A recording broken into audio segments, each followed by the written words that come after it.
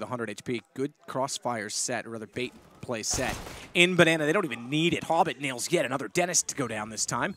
Leaves Olof, who has gotten relatively close. I don't think they know. No, they have no idea that he's this far in because Zeus jumps up, gets taken down. Olof has put himself in a fantastic position What? to find three kills. Smokes onto the bomb. He's going to fight off, but Adren spots him. Knows now that KRIMZ has to be on him. Can't line Oh, it up. Two seconds. He's got it. He's got it.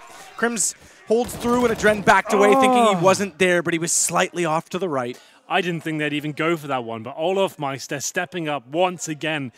A vintage for